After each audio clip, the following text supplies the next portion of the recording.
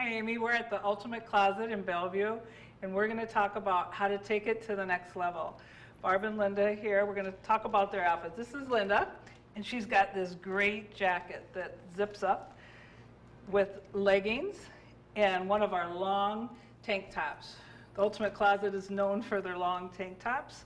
We've got them in all different colors, and then she's got some great shoes. So to take this to the next level, you could always add I'm a necklace to it. Just kind of pops the outfit. Or um, you could add a mini skirt to it and take the leggings off and wear it that way. And this is a piece too that you could wear all year. So don't think about just wearing it for spring and summer. You could wear that into the fall and winter, wear it with leggings and boots. And this is Barbara. And Barbara's got this great tunic top that can be worn two different ways, and she'll show you. And she's got it with black leggings and her fun shoes.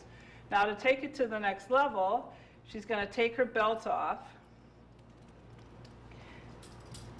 pull the dress down, and wear it just as a dress without the leggings. So there's a couple different ways that you can wear it. And the nice thing about this is it's the off the shoulder, which is really fashion forward with this off shoulder. And we've got the tank top then that covers your bra, which is always nice.